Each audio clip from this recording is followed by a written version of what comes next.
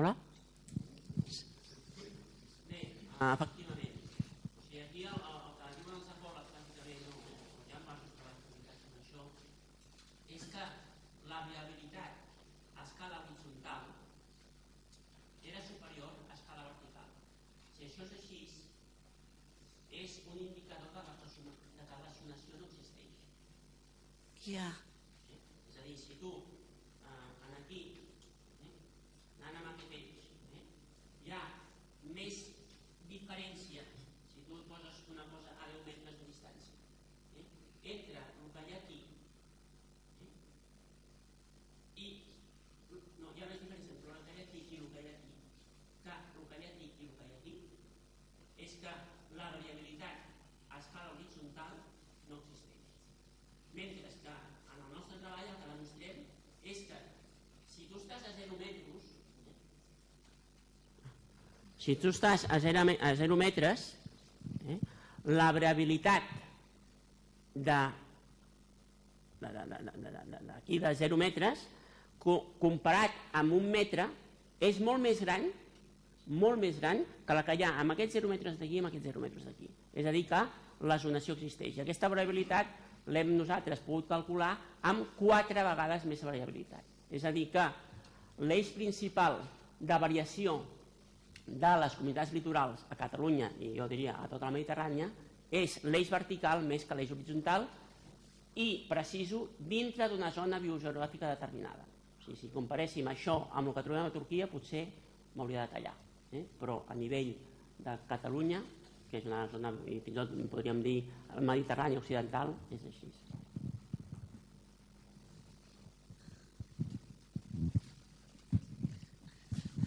Hola, a veure, aquests hàbitats de Catalunya te'ls vas inventar tu, bueno, inventar. Els vas, els vas fabricar tu i està molt ben pensats i tal. Pregunto, això s'ha reconegut en algun altre territori, s'ha utilitzat i aquests mètodes que ara apliques ho han utilitzat els francesos, els italians, els andalusos... Eh... A veure, sí, me'ls vaig inventar jo. Uh, bueno, uh, i també una de les raons per les quals me les vaig inventar jo és que bé, jo he treballat jo crec que tots els països de la Mediterrània, menys el Líbia i algun altre així, bueno, que no, Síria, per exemple, que no és aconsellable anar-hi, però he estat molt a tot arreu i pensava que era la persona que podia eh, fer això amb, amb més ets i uts. No? Això ho vaig aplicar aquí a Catalunya, eh, amb els coneixements que tenia a tot arreu, però aplicat a Catalunya. Després, el Ministeri ha, ha tret una llista d'hàbitats eh, espanyoles en el qual també he contribuït i vaig ampliar aquesta llista i updatar a EUNIS, perquè això està fet amb Corine, pels que no sabeu hi ha diferents classificacions d'hàbitats, en un principi devia ser Corine, ara per al mar ha de ser EUNIS, i hem, hem, hem fet ara ja un que està disponible a la web gratuïtament, un llibre que és eh, Listado de Hàbitats Marinos d'Espanya, en el qual és la, els meus coneixements eh, aplicats i ampliats a tota, a tota Espanya. I estem amb un projecte que es diu Coconet, un projecte europeu, que són 8 milions d'euros eh, pels, per 4 anys, en el qual estic insistint a introduir aquest listat de lista patrón de hàbitats marinos espanyola a tota la, la conca mediterrània inclosa Turquia, Grècia, és a dir, la Mediterrània Oriental, no el Mar Negre, però sí la conca de la Mediterrània Oriental, i ha tingut molt bona acollida i estem confeccionant actualment aquest llistat d'hàbitats eh, a nivell mediterrani. Amb el ben entès de que jo sempre intento que l'hàbitat base sigui l'associació, eh, que moltes vegades no ho podem aconseguir per, bueno, per, per, per desacords entre investigadors. I eh, com EUNIS està situat, com bé saps, amb, bueno, amb nivell 1, 2, 3, 4, 5, 6, eh, sempre podem anar a hàbitats o categories eh, de nivell superior, eh, o bueno, superior o inferior, depèn de com ho miris, però a nivell 4 ens podem quedar a nivell 4 eh, per cartografiar-ho i a nivell 4 tots estem d'acord. Però el que jo penso és que és una llàstima si coneixem que hi ha una cosa més fina eh, i que tu pots arribar a definir no, és que això és el Cistocererum stricte i es diferencia del Cistocererum mediterrani per això, per això, per això, per això. Que no diem Cistocererum stricte mediterrani, diem eh, comunitat d'algues eh, fotòfiles de modus batut dominades per Cistoceira. Eh? Això és Cistocererum mediterrani i Cistocererum stricte. I al final poso dominada per Cistocera mediterrània o dominada per Cistocera estricta.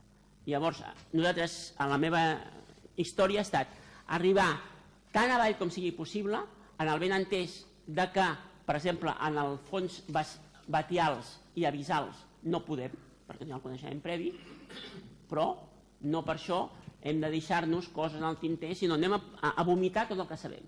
I això ja es reconstruirà i es farà més. I aquesta és la, la idea que he exposat a Coconet i que ha tingut molt bona acollida i, i bueno, jo, penso, jo, sí, jo estic segur que al final d'aquest projecte hi haurà un llistat d'hàbitats marins eh, a nivell del Mediterrani, segur. I entre el Mediterrani, una altra cosa i paro, entre el Mediterrani occidental i oriental hi ha molta diferència entre les, les costes de Grècia, de Turquia, a nivell Grècia de, sobretot. A nivell d'associacions, sí. A nivell del que podríem correspondre a aliances, no, en absolut. Eh?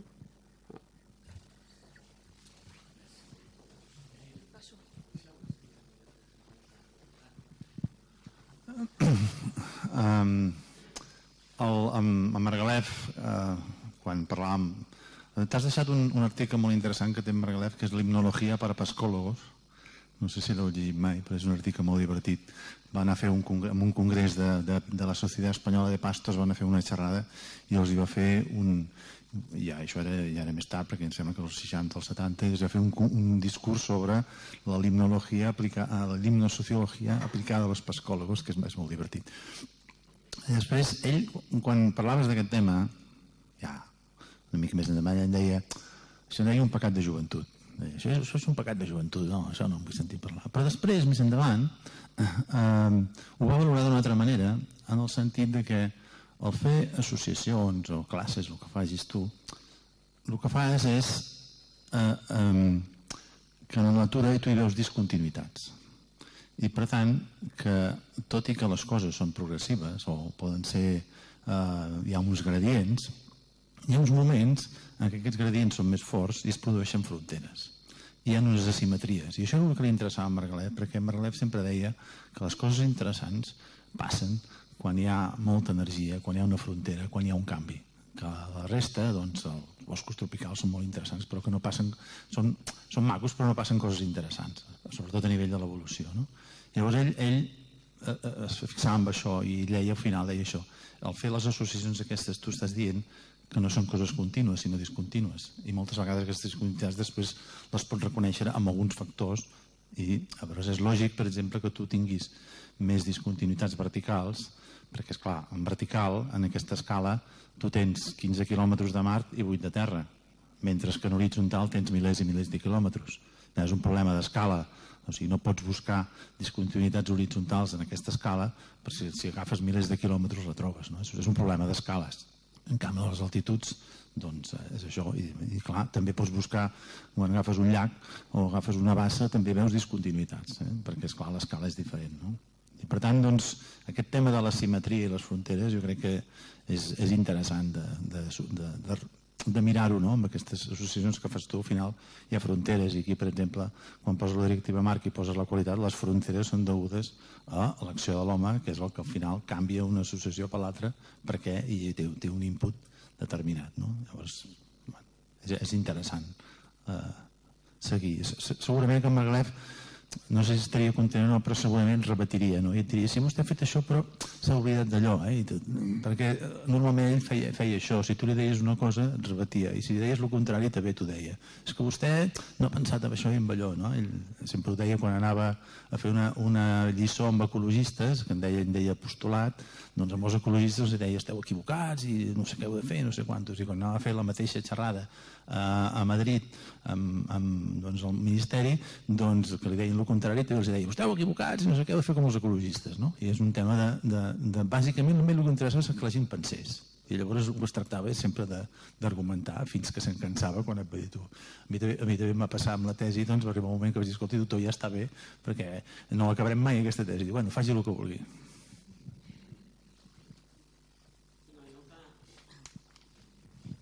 Una mica per respondre't, que estic vaja, amb total acord amb, amb el que dius, és que jo crec que en Margalef et forçava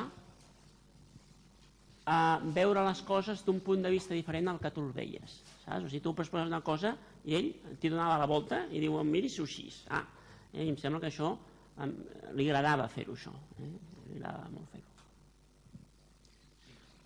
Si em permeteu una, una acotació, no té massa importància, però, però en, una, en una entrevista que, que li vaig enregistrar eh, em deia sobre això del, de les associacions.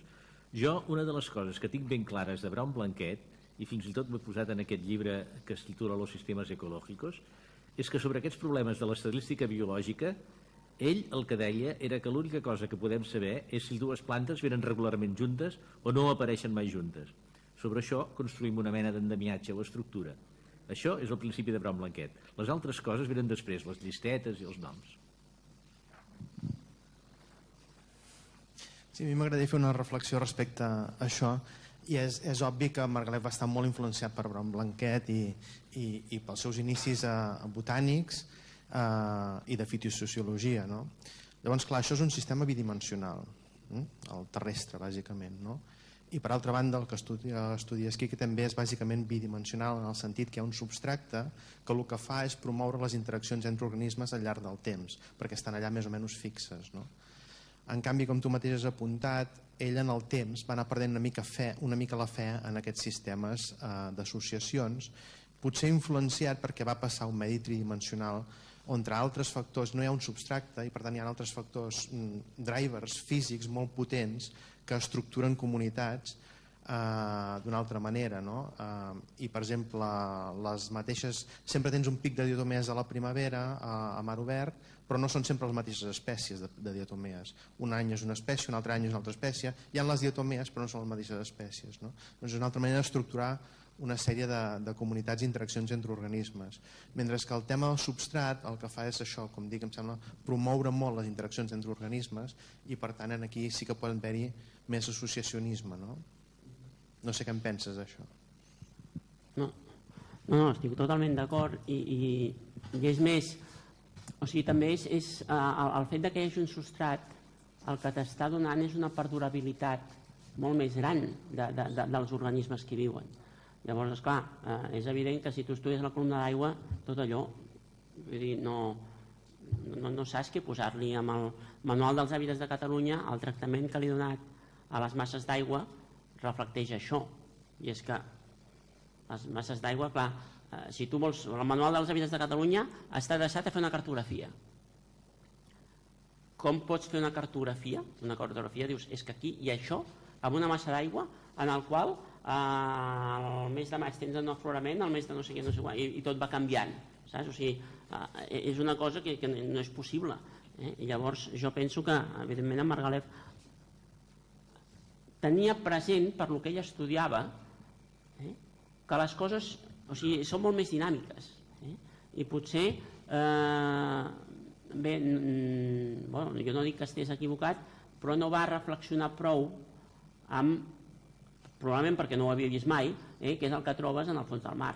Saps? Si te vas a 40 metres, és un coraligen, tornes al cap d'una setmana, d'un mes, de 5 anys o 10 anys, eh, si no ha posat un arrastre, allò continua igual. Eh? Llavors dius, bueno, és que això, això, això és això i això està aquí. No? I, i, i bé, mm, i és una cosa lligada als organismes que creen això condicionat pels factors ambientals que, que, que, que promouen que, que el medi físic sigui com és. I, I per altra banda, el segon comentari llavors és que, clar, en ecologia terrestre després Margalef també va tenir molts més contactes amb el món anglosaxó, sobretot dels Estats Units, no? i en allà és obvi que el tema aquest de les associacions fitosociològiques mai ha tingut gaire arrencada, no? Uh, des dels inicis, ja des de Gleason i, i Clemens, etc etc. no? I, I parlen molt més de gradients que estructuren les, les comunitats que no passen aquí a Europa, que potser és degut a que el paisatge aquí des de fa milers i milers d'anys ja està molt estructurat, molt humanitzat d'alguna manera, no? i que això també condiciona el tipus de comunitats que potser pots trobar. Clar, en el medi marí això no seria el cas, o sigui que estaríem validant en això. No, no sé, una altra, una altra cosa per reflexionar i per comentar només. Sí, no, però és que el, el curiós de tot això és que si veieu la gràfica que us he ensenyat, sí,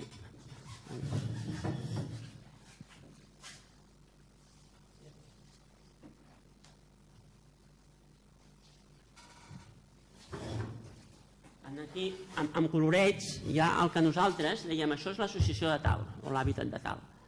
Eh? I el que està clar és que eh, no hi ha discontinuïtats, és tot un continu. O sigui, vas passant de, de les coses vermelles a les grogues, de les verdes, a les no sé què. És a dir que eh, tu quan defineixes això és això, hi ha molta variabilitat en aquest això és això. Eh? Però en aquí eh, jo no estic eh, afirmant que hi hagi associacions. El que estic afirmant amb això és que la variabilitat amb l'eix vertical és superior a l'eix horitzontal. És a dir, que canvien més ràpidament les comunitats quan te'n vas cap avall que quan te'n vas cap al cantó.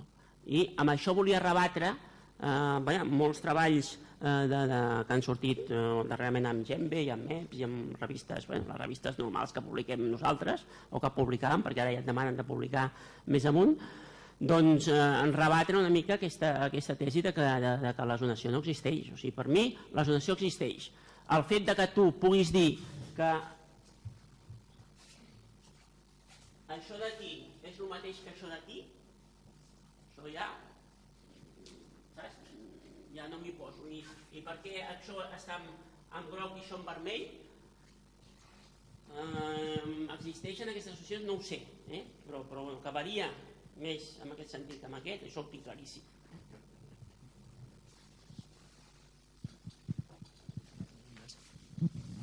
Més. No? Sí. Pràcticament no teníem dades de, del, del període militar del, del doctor Bergalef. Ell sí que n'havia parlat i recordo breument que ell explicava que feien llargues marxes en què estaven tan cansats que tots dormien i se, caminaven dormint apoyar, a, a, repenjats a la, a, la, a la motxilla del que anava davant. Diu, i a més a més, diu, no ho podeu imaginar, diu, en aquesta situació, diu, només es pensa en una cosa, en coses de menjar. O sigui que suposo que això també devia ser una bona preparació per les condicions dures que va haver d'aguantar durant molt temps. Sí, sí de, de fet, no és tant que no hi hagi, perquè efectivament en moltes converses eh, havien sorgit anècdotes de la seva vida militar. Per exemple, en una d'aquestes converses transcrites que, que us deia, eh, explicava que quan era a Mallorca mm, d'artiller, doncs tant en tant tiraven canonades cap al mar, de, sense cap objecte que no fos doncs, eh, demostrar que hi havia canons, diguem, en aquella costa. Vull dir que, i, i altres coses. No, L'únic que, no hi, que, que, que no hi ha són precisions en, quin, en quins mesos va tenir permisos que, eren quan, es, que era quan va començar a moure's eh, per l'Institut Botànic, per exemple, l'any 40, 41, 42. Eh, això la veritat és que encara no he tingut ocasió d'anar-hi, però segur que l'arxiu l'arxiu de l'Ajuntament eh, hi ha les, les dades en què va tenir allò, la, la pensió per estudios en l'Institut Botánico que, que tants altres, bueno, que no sé, enterrades o jo mateix o no sé si tu vam tenir en anys posteriors, diguem.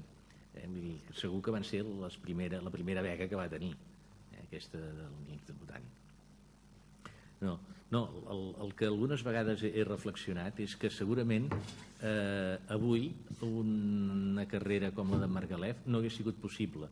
Vull dir, eh, avui un senyor que no té ni el batxillerat és que res, ni, ni, ni proposar-li, vull dir, que, que vingui amb un laboratori a fer qualsevol cosa.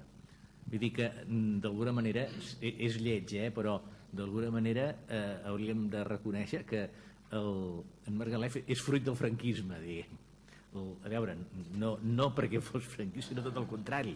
Vull dir, perquè va ser, com tants, com tants centenars i milers de, de persones d'aquella època, va saber aprofitar les escletxes que deixava eh, aquell règim molt, en el fons molt desorganitzat i a més a més va trobar persones que el van ajudar a fer-ho persones eh, capdals que en, en alguns casos eren persones ben situades diguem en relació al règim però en algun cas, en Font mateix doncs totalment eh, arraconats i, i fins i tot eh, condemnats, diguem, o sigui, havien perdut i no, no, és el ca, o, no és el cas de, García del Cid o dels jesuïtes que, que el van ajudar, per exemple, a examinar-se en, el, en, el, en el seu examen d'estat. Això i he passat per sobre, però cal tenir present que li van donar, mm, per fer el batxillerat, li van donar dispensa d'escolaritat, però va haver de fer l'examen d'estat, que en deien llavors. I per l'examen d'estat les, les coses de ciències les portava molt bé, com és obvi, però les coses de, de lletres gens ni mica, vull dir, i ell es queixava molt de que havia d'estudiar les llistes de los Reyes Godos i el llatí i en això el van ajudar molt justament aquests, aquests jesuïtes i alguna altra persona que, no, que encara no he pogut identificar. Molt bé, més coses? No, només dir que aquest estudi de les biocenosis, eh, que són, de fet eren les associacions que ell feia, jo penso que és el millor que s'ha fet perquè altres autors a Itàlia o a Europa han intentat fer les associacions aquestes d'aigua dolça, però sempre eren fragmentades o no, no com la que va fer ell. No? Llavors sí que amb amb el tema estadístic sí que pensava que això podia millorar. Però que el, el, aquest sistema basat en les associacions que en realitat eren biocenosis eh, és el millor i per això va posar en el llibre, el de l'himnologia, el de 1.010 pàgines. Eh? I després, aquest, això m'ha fet molta gràcia aquest, el que has dit del llibre aquest de Donde empieza la vida, eh? de la col·lecció Progressos del Mundo. I no us perdeu el, el pròleg que va escriure, no? que és com una mena de poesia de com neix la vida. No, no, és un llibre extraordinari. Eh? Eh, aquí tampoc, també hi he passat una mica per sobre, però aquest eh, llibre comença aquesta col·lecció, eh, aquesta col·lecció dels Socis del Mundo, i és un llibre que és una, una... I a més a més inaugura també l'editorial, l'editorial Ciència. És Ciència, eh? en, en llatí. Eh, aquesta, aquesta mm, editorial la portava eh, una persona la, que era filla del que havia estat, es deia Marín, em sembla, o Martín, eh, que, havia, que era filla del que havia fet la geografia de, de, de Catalunya del carrer Escandi. I eh, a més a més estava casada amb el, amb el Serró amb el, amb el Serró el, el psiquiatre Serró esclar d'aquella època. Eh, sospito, encara que no ho he pogut acabar d'aclarir, que va ser a través d'aquelles reunions de zoòlegs que feien al Museu de Zoologia, a les quals participava en Serró, que van conèixer en Margalef i li van encarregar aquest llibre perquè és evident que encarregar-li un llibre com aquell amb un noi de 22-23 anys eh, en, aparentment sembla una cosa absolutament absurda vull dir. I, i clar, justament no ho era gens sinó que va ser un, un gran encert. Eh, només els dibuixos de, clar que són tots trets de, de, de publicacions de publicacions que eren a l'Institut Botànic vull dir, tot, tot el que tota la, la bibliografia que va manejar per fer aquest llibre era tota a l'Institut Botànic, no, no, no tenia altra, altra font de consulta en aquell moment, potser a la universitat també, però, però no tant, perquè de fet no hi havia hagut eh, ningú interessat per la limnologia en aquells, eh, en aquells anys. Bé, no, no m'extenc més perquè no cal. Més coses, no? És una mica tard. Bueno, Masalles ara començarà a treballar eh, vull donar les gràcies a l'Institut per l'acolliment que ens ha donat amb aquest acte i naturalment a tots els presents perquè heu vingut i suposo segur que haureu disfrutat amb aquestes vivències, una mica una barreja de ciència i de història que ens han explicat el Josep Maria i en l'Enric. Gràcies també a tots dos. I Valentí, no sé si has de dir alguna cosa o altra tu. Sí, te toqui. Jo crec que et tocaria. Sí. No, en realitat no volia dir res, eh? però també us agraeixo molt la vostra assistència i els, i els ponents les seves xerrades i aquestes coses fan eh, que continuem amb més ànims, els que ja en tenim, i que els que no en tenen doncs n'agafin una mica, no? Espero que sigui així almenys. Gràcies.